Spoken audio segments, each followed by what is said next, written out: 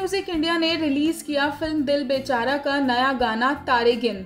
हाल ही में Sony music India ने फ़िल्म दिल बेचारा की म्यूज़िक एल्बम को रिलीज़ किया था। ए आर रहमान द्वारा कंपोज इस एल्बम के लिरिक्स अमिताभ भट्टाचार्य ने लिखे हैं।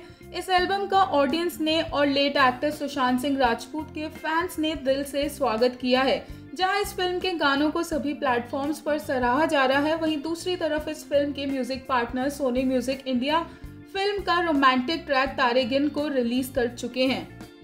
ए आर रहमान की कंपोजिशन में बने इस गाने को श्रेया घोषाल और मोहित चौहान ने अपनी ब्यूटीफुल वॉइस से और भी खूबसूरत बना दिया है।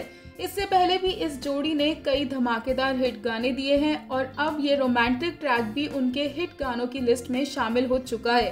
तारे गिन, मैनी और किसी के बीच के बडिंग रोमांस को कैप्चर करता है।